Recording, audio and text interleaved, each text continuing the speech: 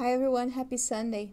I'm Sister Mary Elizabeth from Seeds of the Word community, and I would like to welcome all of you that are joining us this Sunday, the fourth Sunday in Ordinary Time, today, January 31st. And for the liturgy of this fourth Sunday, we will be reading Deuteronomy chapter 18, verses 15 to 20. Responsorial Psalm is Psalm 95. Second reading on this Sunday is from the First Corinthians chapter 7 verses 32 to 35. And the Gospel is Gospel of St. Mark chapter 1 verses 21 to 28. So we can start the reading of the Word of God for today. Moses spoke to the people. He said, The Lord your God will raise up for you a prophet like me from among your own kin you shall heed such a prophet. This is what you request requested of the Lord your God at Horeb on the day of the assembly when you said, Let me not hear the voice of the Lord my God any more, or over again see his great fire, lest I die. Then the Lord replied to me, They are right in what they have said. I will raise up for them a prophet like you from among their own kin. I will put my words in his mouth, and he shall speak to them everything that I commanded him.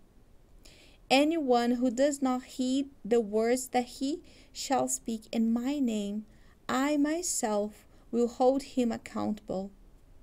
But any prophet who speaks in the name of other gods, and who presumes to speak in my name a word that I have not commanded him to speak, the prophet shall die. The word of the Lord, thanks be to God. In this first reading today, we see a promise that the Lord gives to the people of Israel. Moses said, The Lord will raise up for you a prophet like me, because you asked. But here is interesting if we see the life of the Israelites. The Israelites, many times, they wanted to be like other nations, other people, having kings, prophets like other people. They never really quite accepted how they were special, how they were different. And they asked to have a prophet. And the Lord says, okay, I will give you a prophet, a prophet after Moses. But listen, you have to listen to him. Every word that he says is a word that comes from me. Don't listen to other prophets or even prophets that presumes they are speaking my word. And in this Lectio Divina today, we can ask ourselves, what does it mean to me, Lord, today? How can I apply my life today? Am I listening to the prophets that the Lord put in my life? First, am I listening to the church? Our mother, the church. Am I listening to the word of God? Am I listening to the people that are prophets in my life? And how can we recognize that they are prophets? Is because they help us to understand the will of God.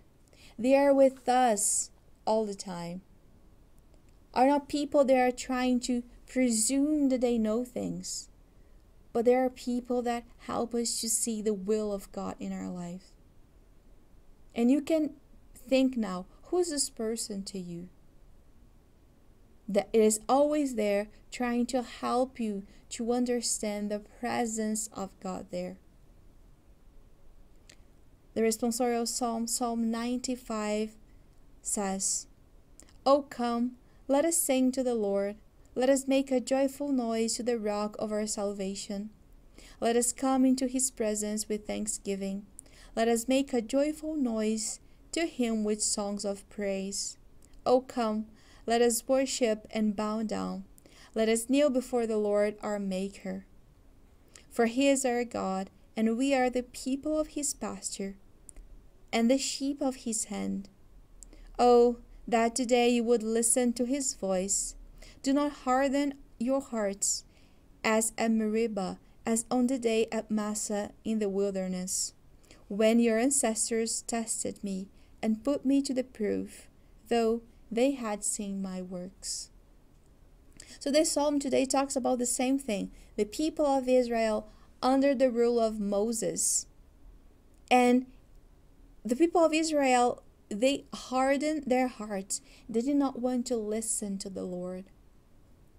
So you can make a journey through the through Old Testament and you see how difficult was for Moses to guide God's people to the promised land. And here it is an exclamation of the psalmist, but we can say of God's heart, saying, Oh, that today you would listen to his voice. Oh, that today you would listen to my voice, God speaking to you. Do not harden your hearts, but trust me, believe me, be with me. Second reading today is from the first letter of Corinthians, chapter 7, verses 32 to 35. I want you to be free of anxieties. The unmarried man is anxious about the affairs of the Lord, how to please the Lord. But the married man is anxious about the affairs of the world, how to please his wife, and his interests are divided. The unmarried woman and the virgin are concerned about the affairs of the Lord so that they may be holy in body and spirit. But the married woman is concerned about the affairs of the world, how to please her husband. I say this for you on benefit. Do not put any restraint upon you, but to promote good order and unhindered devotion to the Lord. The word of the Lord, thanks be to God. This chapter 7 of First Corinthians is very interesting. What we see in the whole chapter is St. Paul is trying to explain why he was single and what are the benefits of being single. Here he's not saying anything against marriage. Marriage is sacred.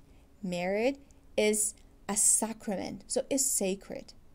But Paul here is explaining why there are some people that are not married, why there are priests, why there are consecrated men and women, and singles, not single people that decide not to marry.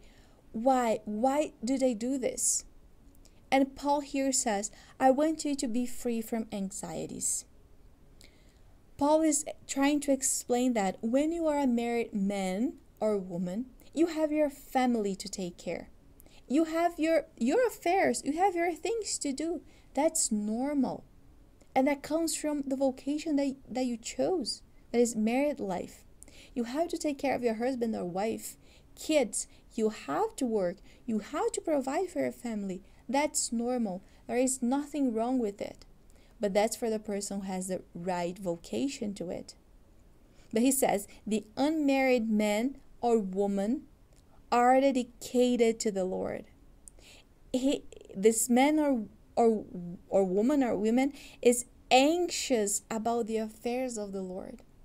Paul says, I want you to be free of anxieties, but this person will be anxious for the Lord. Saying the good anxiety. And what it means by anxiety is this person will be full of energy to serve the Lord.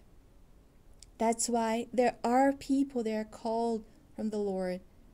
They are called by the Lord to serve Him in His church, to be missionaries, to spread the word of God, and to, to be free from all earthly things to serve the Lord.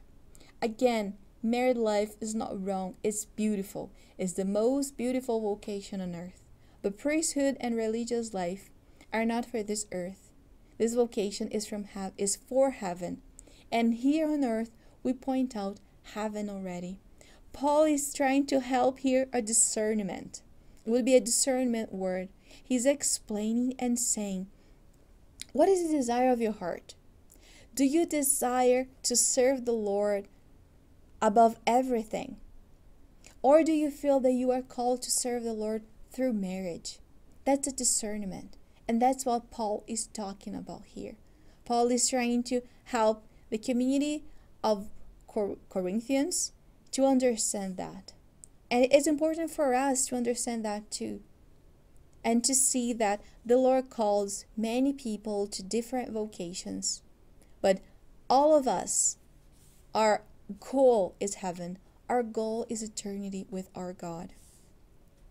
The Gospel for today, Gospel of St. Mark, chapter 1, verses 21 to 28 says, The disciples went to Capernaum, and when the Sabbath came, Jesus entered the synagogue and taught. They were astounded at his teaching, for he taught them as one having authority, and not the scribes. Just then there was in their synagogue a man with an unclean spirit, and he cried out, what have you to do with us, Jesus of Nazareth? Have you come to destroy us? I know who you are, the Holy One of God. But Jesus rebuked him, saying, Be silent and come out of him. And the unclean spirit, convulsing the man and crying with loud voice, came out of him. They were all amazed, and they kept on, say, on asking one another, what is this? A new teaching with authority. He commands even the unclean spirits, and they obey him. At once, Jesus' fame began to spread throughout the surrounding regions of Galilee. The Gospel of the Lord. Praise to you, Lord Jesus Christ. The unclean spirit, and we can say the demons, they recognized Jesus. They said, What are you to do with us, Jesus of Nazareth? Have you come to destroy us? I know whom you are, the Holy One of God. This is not a profession of faith. If it were, there wouldn't be demons, there would be angels. No, it wasn't a profession of faith. They were trying to trap Jesus with pride and people and trying to prevent people to really understand whom Jesus was. Though it seems they are they recognize Jesus, who you are. You are Jesus of Nazareth, the Holy One of God. They are not wrong with it. But they do not mean it. They do not mean it in their hearts because they are unclean spirits. And what does Jesus do? Again, he says, Be silent come out of him.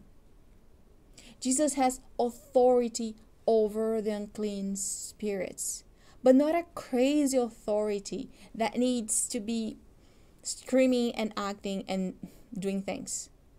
Jesus is the Word of God. So he said he has authority to say a word and they will be silent.